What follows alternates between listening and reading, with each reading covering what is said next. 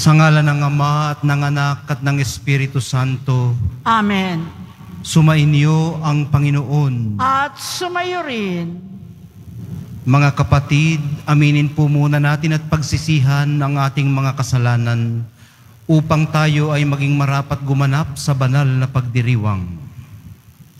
Inaamin ko sa makapangyarihang Diyos at sa inyo mga kapatid na lubha akong nagkasala sa isip, sa salita at sa gawa at sa aking pagkukulang kaya isinasamo ko sa mahal na Birheng Maria sa lahat ng mga anghel at mga banal at sa inyo mga kapatid na ako'y ipanalangin sa Panginoong ating Diyos. kaawaan tayo ng makapangyarihang Diyos, patawarin sa ating mga kasalanan at patnubayan sa buhay na walang hanggan. Amen.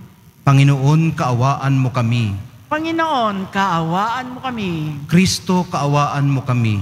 Kristo, kaawaan mo kami. Panginoon, kaawaan mo kami. Panginoon, kaawaan mo kami. Manalangin tayo. Ama naming mapagmahal, ipagkaloob mong sa iyong sambayanan ang panibagong bugso ng Espiritu na pumuspos kay San Agustin. Malubos nawa sa amin ang pananahan ng Espiritu upang ikaw na batis ng karunungan ay magbunsod ng aming pananabik at ikaw na bukal ng buhay ay aming masaliksik sa pamamagitan ni Heso Kristo kasama ng Espiritu Santo magpasawalang hanggan. Amen. Magsiupo muna po ang lahat. Ang simula ng unang sulat ni Apostol San Pablo sa mga taga Tesalonika. Mula kina Pablo, Silas at Timoteo sa simbahan sa Tesalonika, mga hinirang ng Diyos Ama at ng Panginoong Heso Kristo. Sumainyo nawa ang pagpapala at kapayapaan. Lagi kaming nagpapasalamat sa Diyos dahil sa inyo. At tuwin ay isinasami namin sik na kayo'y amin sa aming dalangin. Ginugundi na namin sa kaharapan ng ating Diyos at Ama ang inyong mga gawang bunga ng pananampalataya, ang inyong mga pagpapagal na udyok ng pag-ibig at ang matibay ninyong pag-asa sa Panginoong Heso Kristo. Nalalaman namin, mga kapatid, na kayo'y hinirang ng Diyos na nagmamahal sa inyo. Ang mabuting balita na lubos naming pinaniniwalaan at ipinahayag namin sa inyo, hindi sa salita lamang.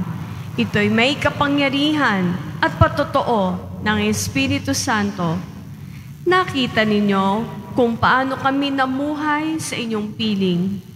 Ito'y ginawa namin para sa inyong kabutihan. Sapagkat hindi lamang ang salita ng Panginoon ang lumalaganap sa Macedonia at Akaya sa pamamagitan ninyo, pati ang balita tungkol sa inyong pananampalataya ay kumalat sa lahat ng dako. Ano pat hindi na kailangan magsalita pa kami tungkol dito. Sila na ang nagbabalita kung paano nyo kami tinanggap.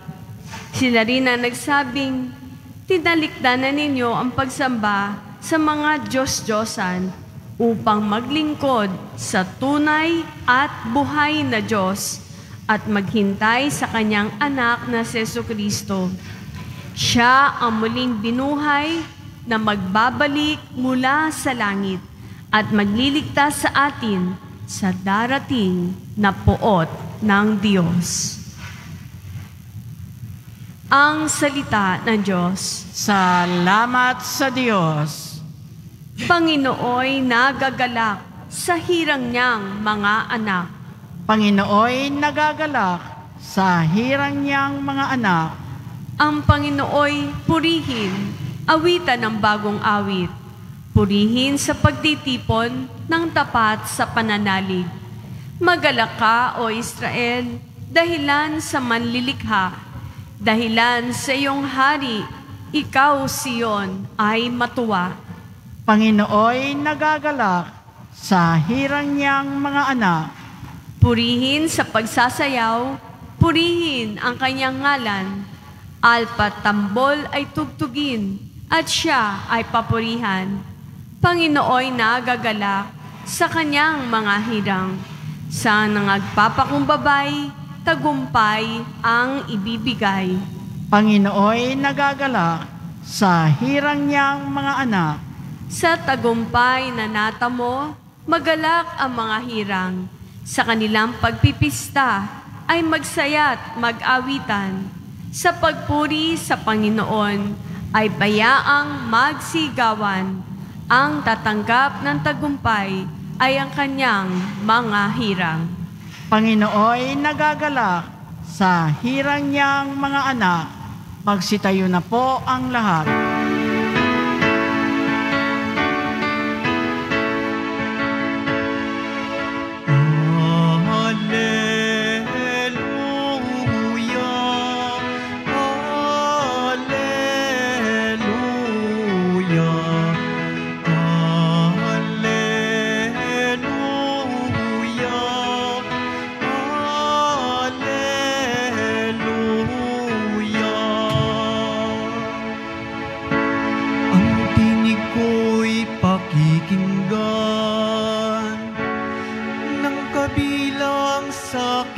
Kawan. Ako'y kanilang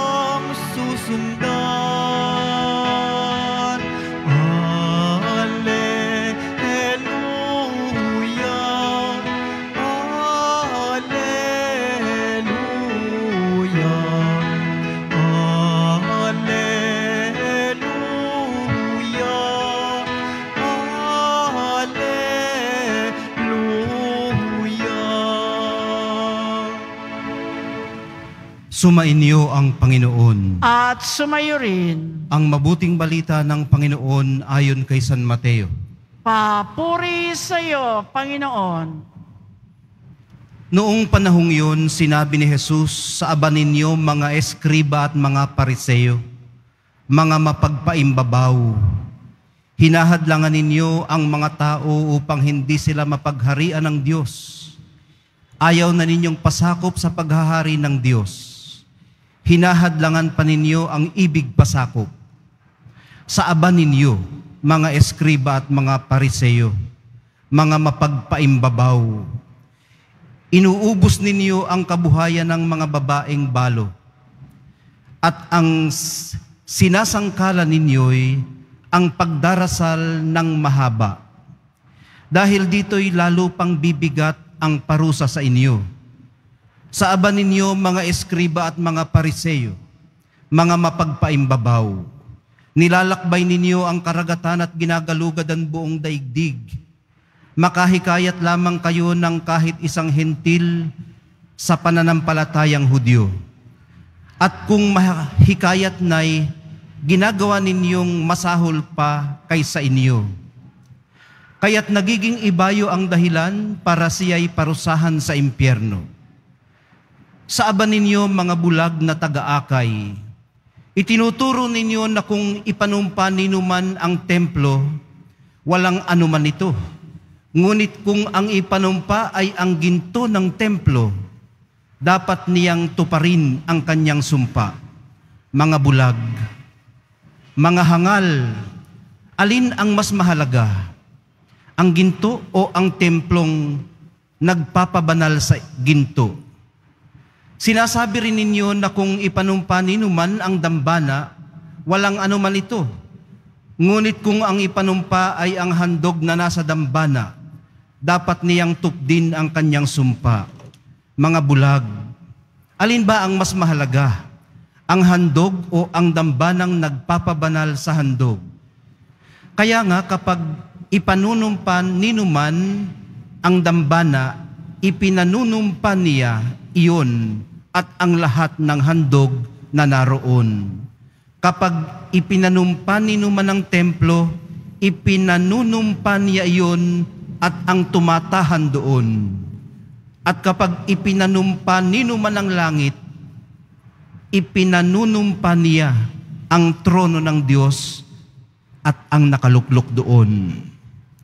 Ang mabuting balita ng Panginoon. Pinupuri ka namin, Panginoong Heso Kristo. Magsiupo muna po ang lahat. Magandang gabi po ng ah, lunes sa inyong lahat. Ginugunita po natin ngayon si San Agustin, obispo at pantas ng simbahan. Ang ibig sabihin po ng pantas ay ano, doctor of the church. Kinikilalang ah, parang mas mataas pa yata kaysa sa mga saints, ano? Ah, may mga karaniwang santo, pero merong mga kinikilala din na doctor of the church. Si San Agustin ay isa doon, ano ho? Sa ating ebanghelyo, ilang beses nating narinig na nasabihan ang mga eskriba at pariseyo ng saaba ninyo. Bakit nga kaya, ano ho? Kahabag-habag naman po kasi talaga ang spiritual blindness. Ang mas kahabag-habag pa, spiritually blind na nga, gumagabay pa ng iba. Hindi po mahirap maispatan ang uring ito ng pagkabulag. Congruence po ang susi. Kung nababakas sa gawa ang mga sinasalita,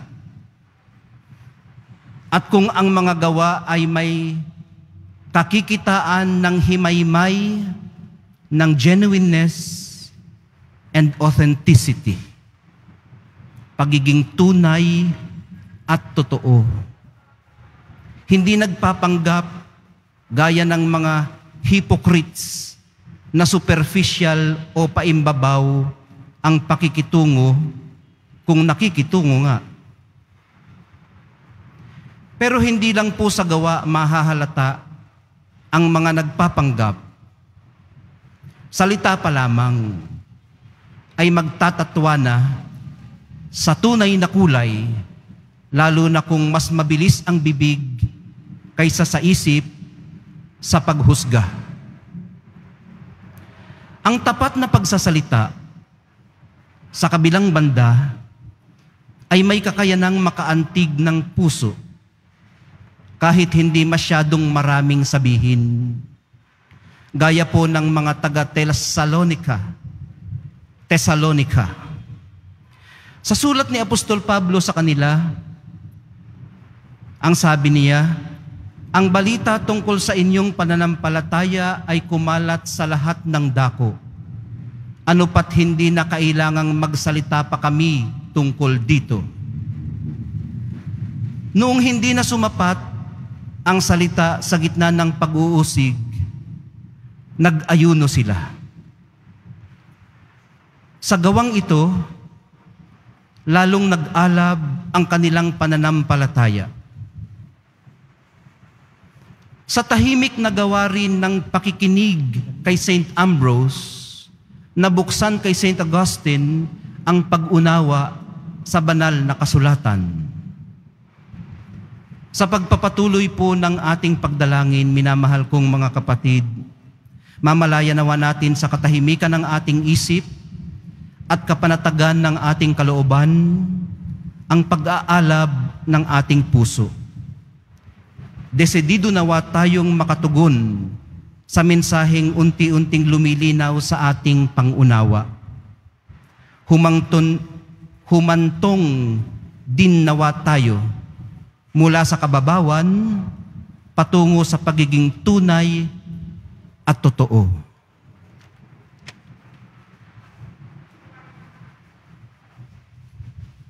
Magsitayo na po ang lahat.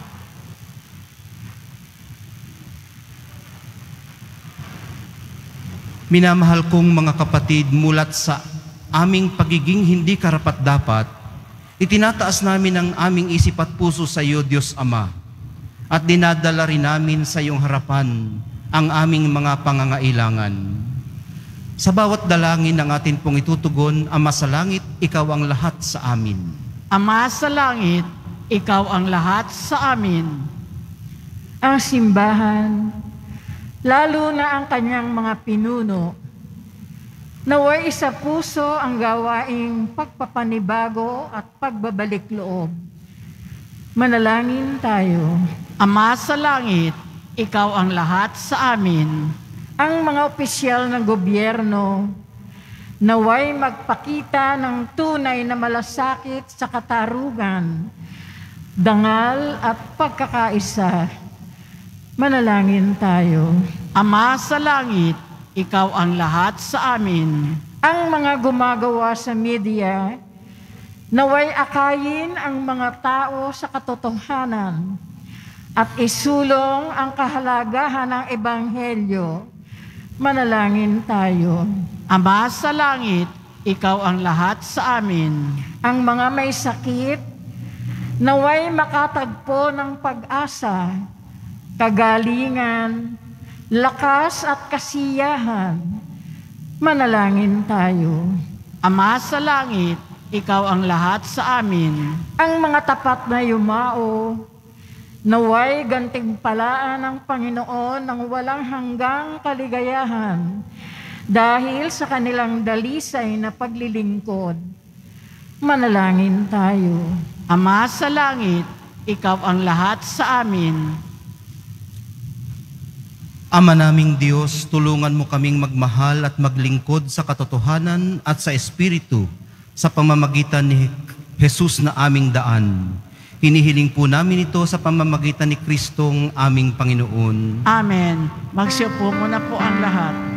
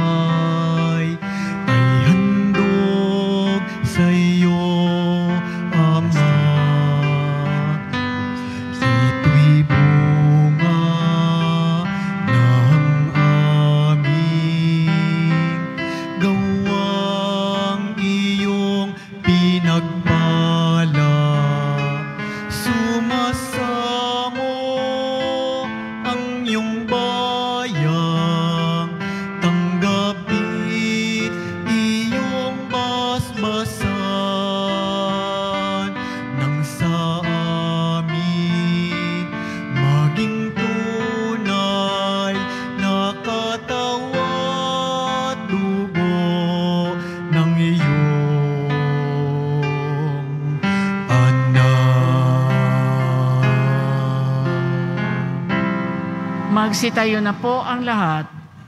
Manalangin po kayo mga kapatid upang ang paghahain natin ay kalugdan ng Diyos amang makapangyarihan. Tanggapin nawa ng Panginoon itong paghahain sa iyong mga kamay sa kapurihan niya at karangalan sa ating kapakinabangan at sa buong sambayanan niyang banal. Ama naming lumikha, sa pagdiriwang namin sa pagtubos ng iyong anak sa amin, maihainawa ngayong ginugunita si San Agustin ang pakikinabang sa matapat na pagsasama sa panandang ito ng pag-ibig at pagkakaisa sa pamamagitan ni Heso Kristo kasama ng Espiritu Santo magpasawalang hanggan. Amen. Sumainyo ang Panginoon. At sumayo rin, Itaas sa Diyos ang inyong puso at diwa. itinaas na namin sa Panginoon. Pasalamatan natin ang Panginoong ating Diyos. Marapat na siya ay pasalamatan. Ama naming makapangyarihan, tunay ngang marapat na ikaw ay aming pasalamatan sa pamamagitan ni Heso Kristo na aming Panginoon.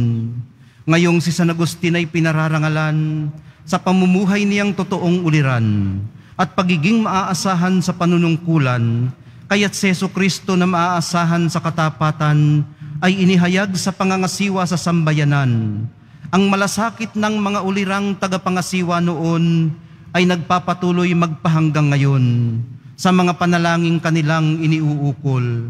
Kaya kaisa ng sambayanan mong dito'y natitipon, kami nagsisiawit ng papuri sa iyo kasabay ng mga anghel sa kalangitan ng walang humpay at nagbubunyi sa iyong kadakilaan. Santo, Santo, Santo, Panginoong Diyos ng mga hukbo, napupuno ang langit at lupa ng kadakilaan mo, usana sa kaitaasan, pinagpala ang naparirito sa ngalan ng Panginoon, usana sa kaitaasan, magsiluhod po ang lahat. Ama naming banal, ikaw ang bukal ng tanang kabanalan, kaya't sa pamamagitan ng iyong Espiritu, gawin mong banal ang mga kaloob na ito upang para sa amin maging katawan at dugo ng aming Panginoong Heso Kristo. Bago niya pinagtiis ang kusang loob na maging handog, hinawakan niya ang tinapay, pinasalamatan kaniya, pinaghati-hati niya iyon, iniabot sa kanyang mga alagad at sinabi, Tanggapin ninyong lahat ito at kanin, ito ang aking katawan na ihahandog para sa inyo.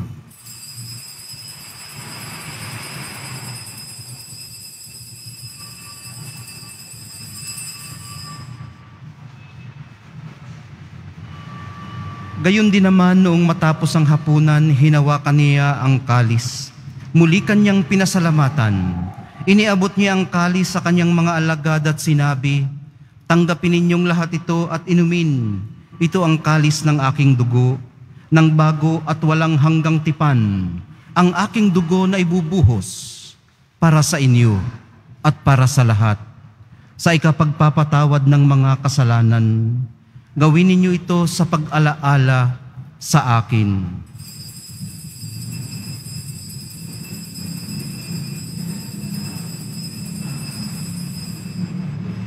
Magsitayo na po ang lahat. Ipagbunyi natin ang misteryo ng pananampalataya.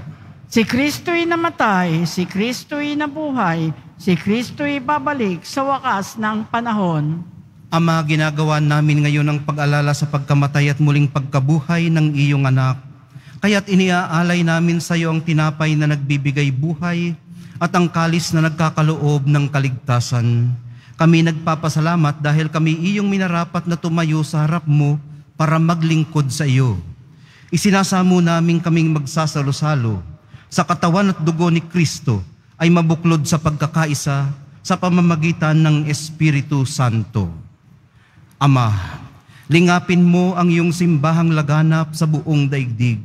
Puspusin mo kami sa pag-ibig, kaysa ni Francisco na aming Santo Papa, ni Jose na aming arsobispot ng tanang mga obispot kaparian at ng iyong piniling sambayanan. Alalahanin mo rin ang mga kapatid naming nahimlay nang may pag-asang sila'y muling mabubuhay, lalo na po si Patricia Ann Brown, gayon din ang lahat ng mga pumanaw. Kaawaan mo sila at patuloyin sa iyong kaliwanagan. Kaawaan mo at pagindapatin kaming lahat na makasalo sa iyong buhay na walang wakas. Kaisa ng mahal na Birheng Maria na ina ng Diyos, ng kabiyak ng puso niyang si San Jose, ni San Juan Bautista, ni San Agustin, at ng lahat ng mga banal at mga apostol na namuhay dito sa daigdig ng kalugod-lugod sa iyo, may pagdiwang nawa namin ang pagpupuri sa ikararangal mo sa pamamagitan ng iyong anak na aming Panginoong Heso Kristo.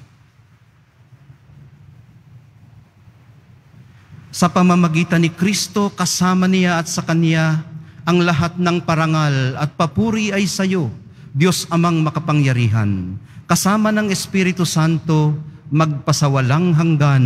Amen.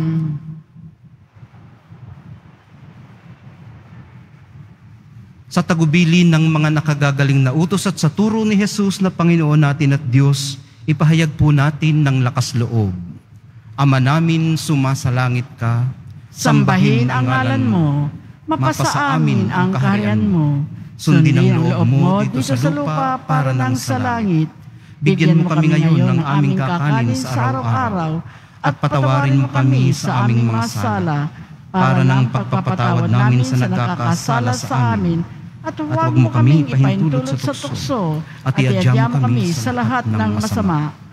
Hinihiling po namin kami iadya sa lahat ng masama, pagkalooban ng kapayapaan araw-araw, iligtas sa kasalanan, at ilayo sa lahat ng kapahamakan, samantalang aming pinananabikan ang dakilang araw ng pagpapahayag ng tagapagligtas naming si Heso Kristo. Sapagkat iyo ang kaharian at ang kapangyarihan at ang kapurihan magpakailanman. Amen. Panginoong Heso Kristo, sinabi mo sa iyong mga apostol, kapayapaan ang iniiwan ko sa inyo, ang aking kapayapaan ang ibinibigay ko sa inyo. Tunghayan mong aming pananampalataya at huwag ang aming pagkakasala. Pagkalooban mo kami ng kapayapaan at pagkakaisa ayon sa iyong kalooban, kasama ng Espiritu Santo, magpasawalang hanggan. Amen. Ang kapayapaan ng Panginoon ay laging sumainyo. At sumayo rin. Magbigayan po kayo ng kapayapaan sa isa't isa.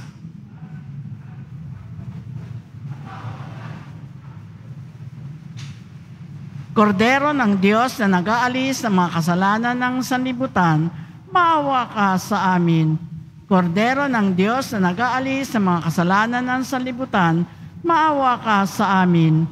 Kordero ng Diyos na nag-aalis ng mga kasalanan ng sanlibutan, ipagkaloob mo sa amin ang kapayapaan, magsiluhod po ang lahat. Ito ang kordero ng Diyos na nag-aalis ng mga kasalanan ng sanlibutan. Mapapalad ang mga inaanyayahan sa piging ng kordero. Panginoon, hindi ako karapat-dapat na magpatuloy sa iyo, ngunit sa isang salita mo lamang ay gagaling na ako.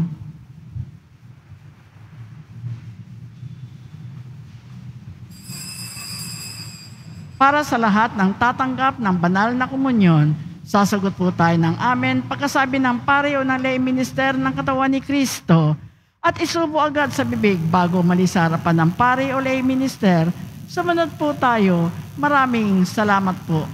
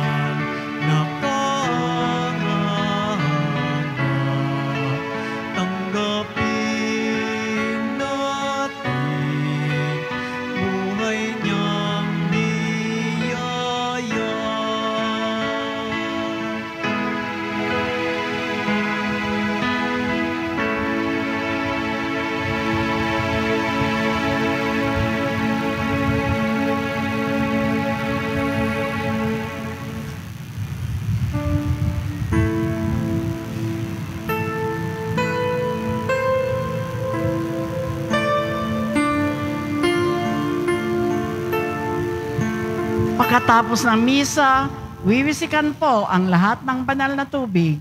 Pinakikiusapan ang lahat na manatili lamang muna sa inyong mga lugar, tanging sa Quezon Boulevard o sa Plaza San Juan lamang ang labasan ng lahat.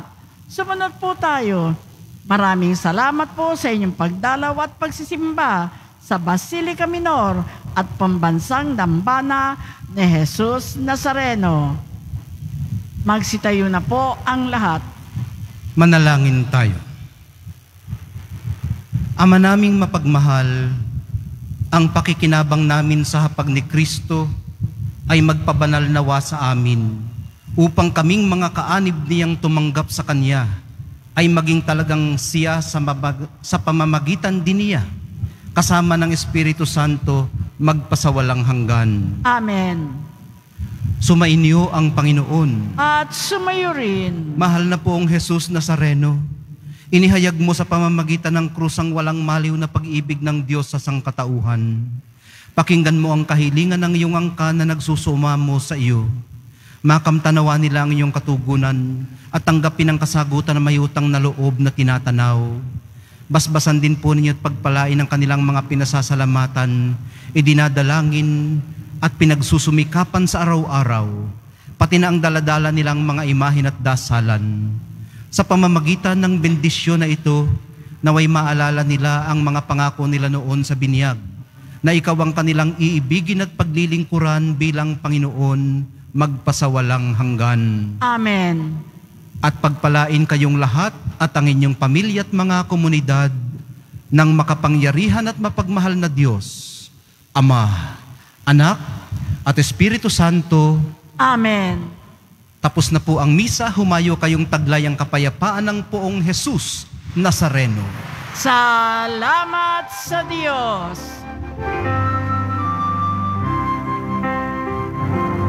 Nuestro Padre Jesús Nazareno,